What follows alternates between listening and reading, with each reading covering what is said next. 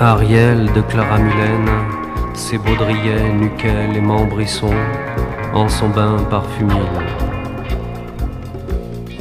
Molle en chaleur d'eau clipotillante, murmurant ritournelle en rossignolé, chevelire aquarelle, elle était plate follement divine.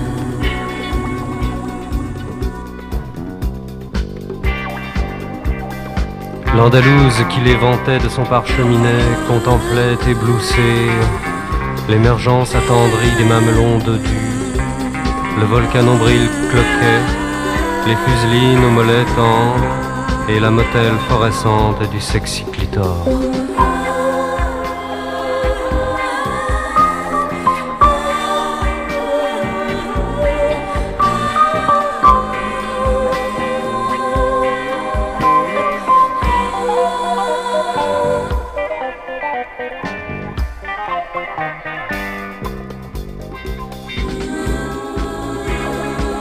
Ariel sentit bientôt ce bicheuil lourd que l'Ibérienne posait sur elle. Lors, pour aviver l'exacerbie de l'espagnol, elle s'empara du savonure et le patinageant en glissade de son col à son ventre, s'en titilla les chancranelles.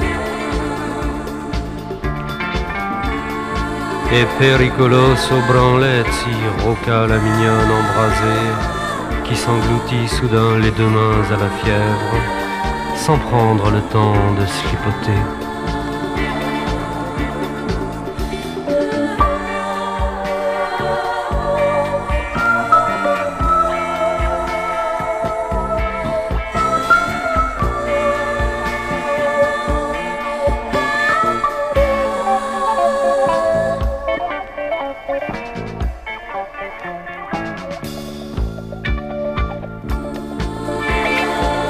Quand l'étincelle en nuage les eut envulvés, ces étonnantes lesboviciennes se méprisèrent longuement.